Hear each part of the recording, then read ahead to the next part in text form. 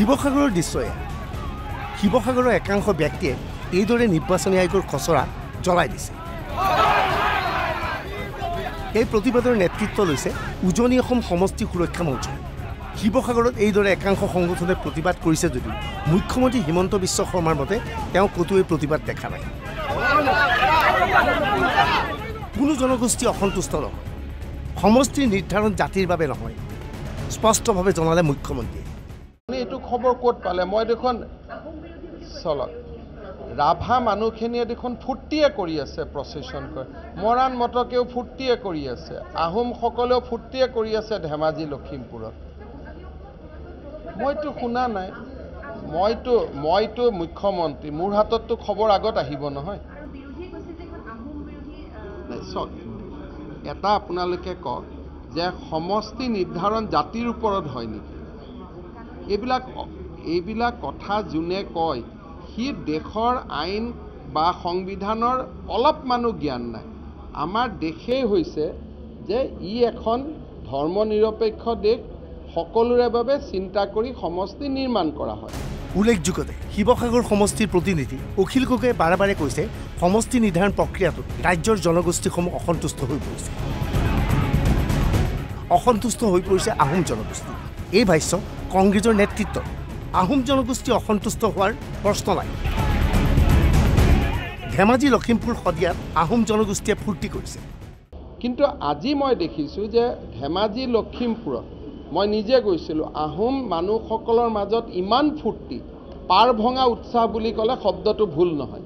সদায় মনোজ গগৈয়ে টিভিত কৈয়ে আছে যে আমাক ন্যায় প্ৰদান কৰিলে ন্যায় প্ৰদান কৰিলে। এতিয়া আপোনালোকৰ ওপৰত ডিপেণ্ড কৰে যে আপোনালোকে কাক আহোমৰ নেতা বুলি ভাবে।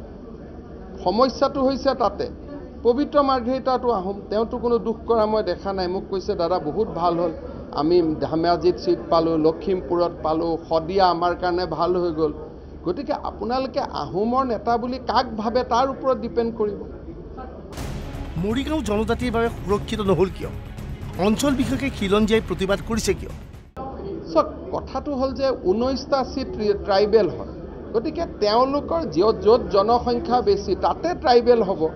তেওঁলোকে বুজি পায় তেওঁলোকে খালি মোক ৰিকুৱেষ্ট কৰিছে ছাৰ চাই দিব এবাৰ যদি পাৰে। সেইটোতো কোনো বেয়া কথা নহয়। আমি কৈছোঁ ঠিক আছে আমি আপোনালোকৰ কথাটো কৈ দিম। কিন্তু সমষ্টি পুনৰ নিৰ্ধাৰণলৈ ক'তো একোৱেই গণ্ডগোল নাই। ক'তো একো গণ্ডগোল নাই। দুই এজন মানুহে ভাবিছে যে অহাবাৰতো এইটো সমষ্টিত মই জিকিব নোৱাৰিম। সেইটো কাৰণে অলপ অলপ কৈ আছে। সমষ্টি নিৰ্ধাৰণৰ বিৰুদ্ধে মাত মাতিছে অখিল গগৈ।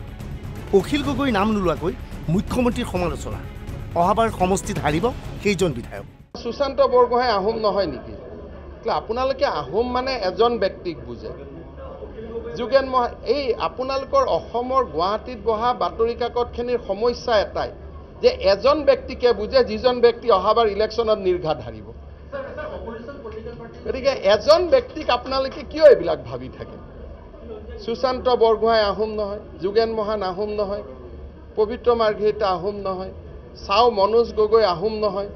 তো আপোনালোকে এজন মানুহক এই আজি ছয় সাত বছৰ আপোনালোকে বেমাৰটোৰ পৰা ওলাওক এইবোৰ অতীত হৈ গ'ল আৰু।